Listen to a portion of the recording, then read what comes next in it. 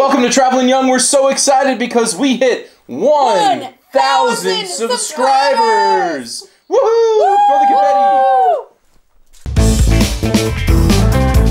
confetti.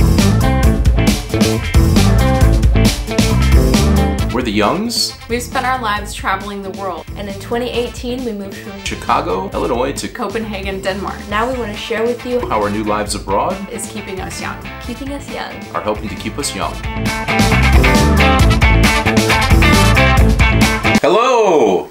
We are so excited and Yes. thankful that we hit 1,000 subscribers. Can't believe it. I mean, it's amazing. It's I just crazy. cannot believe that this thing we started five months ago has uh, hit. It, it's just been. It's been Yeah, it's incredible. like the past couple of days have been like crazy town for us. So Yeah. like we never I don't think I'd ever thought that we would get to a thousand this quickly. Yeah, so we wanted to put a quick video together to first thank you guys because you are the ones that helped us get here, and also tell a little bit about our journey and what are the things that we learned along the way about how to actually get Run- to a thousand Just like a subscribers. YouTube video. Yeah, and so the first thing is we're going to talk about a couple videos that got us here. The first one is the very first video that we posted, which was about Iceland. So Miranda and I went to Iceland in July, and I'm like, let's get a drone. That was which was awesome. I watched so many Yeah. YouTube videos about Iceland before I went. I'm like, I can take videos that look We this can do nice, this. And then you just post it on YouTube, and everybody's gonna look at it. That's the least viewed video that we have.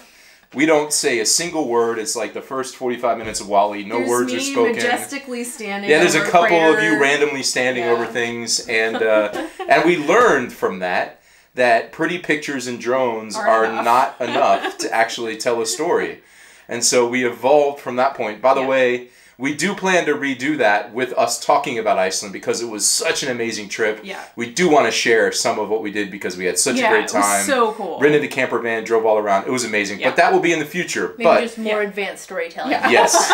but we learned that just pictures aren't enough. You actually need to tell a story. Yeah. That was the first lesson we learned. Speaking of storytelling, Yes. Speaking of storytelling, one another video that is still super popular today is when we went to Nyhavn.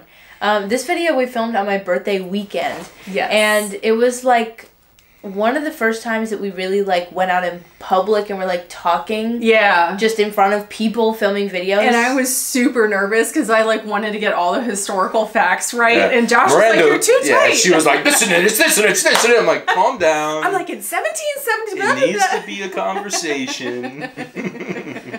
yeah, it was so, it was so much fun just getting to walk around the city and do that. And um, yeah, that's yeah, and we also learned then that's when we started posting two videos a week. yeah, And we yeah. learned that consistency is important. Yes. And Yes, YouTube very much. algorithms like to know that you are going to consistently be a creator. And so we started posting two videos a week and that eventually paid off. It took a while. We had to get 10, 15, 20 videos up, but no matter what, we just kept at it two a week. And that was the first time that we really set that path. Yeah. Yeah. And now it's become like a family thing, so it's, Yeah. it's fun. Yeah.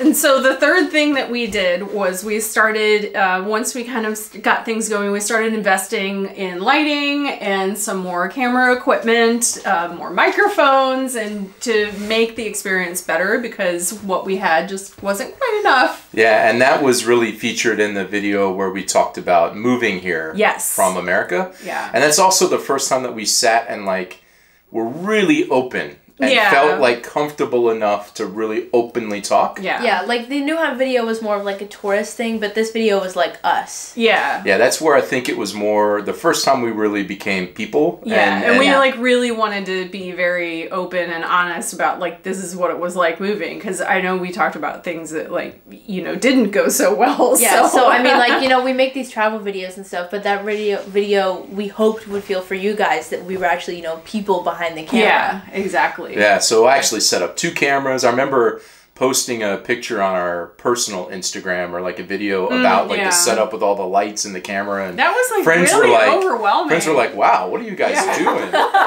and then we shot it and we actually it took me 2 weeks to really edit it and stuff Yeah, because I wanted to make sure we took it right.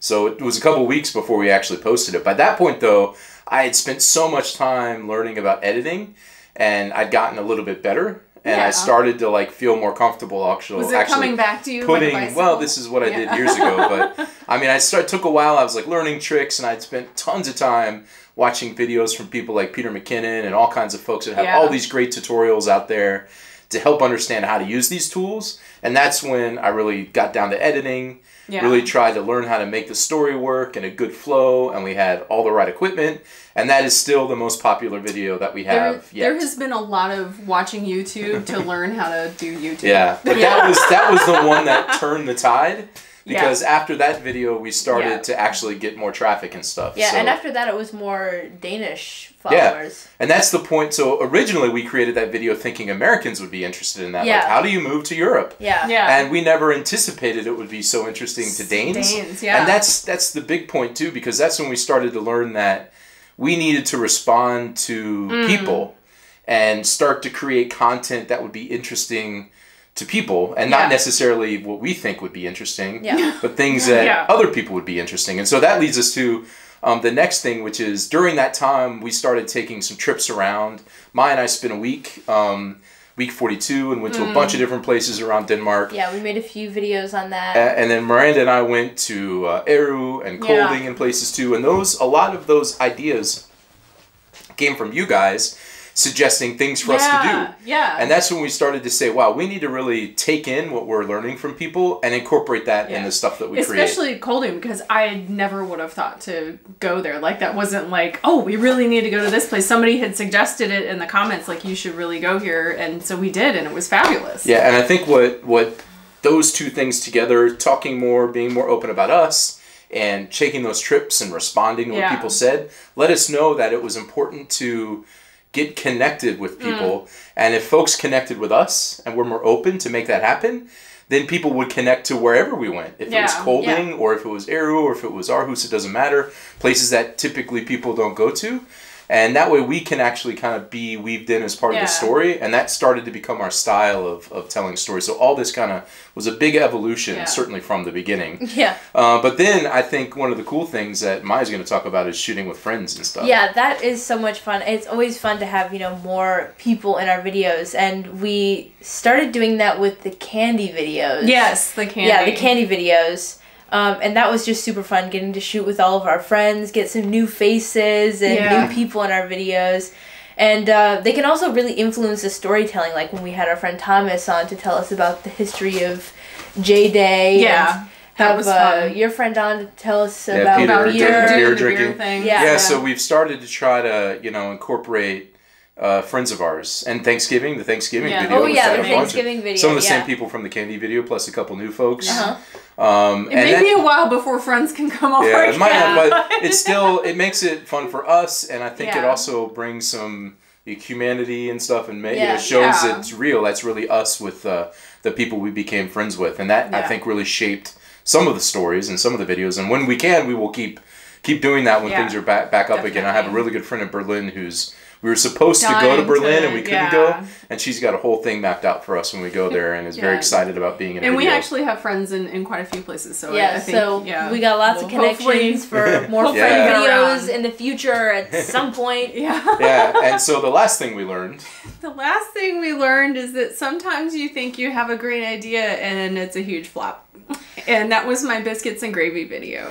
But even better, what we learned is don't be afraid to try yeah, something we different. did it anyway. I mean, it was you know, fun. it was it was fun to do, and we were open to trying new ideas Yeah. because we can't travel. We're at home. We had a lot of time at Christmas, and you know, we will always try new stuff. yeah, And if it doesn't work out, then we just won't okay. do it We just won't do it again.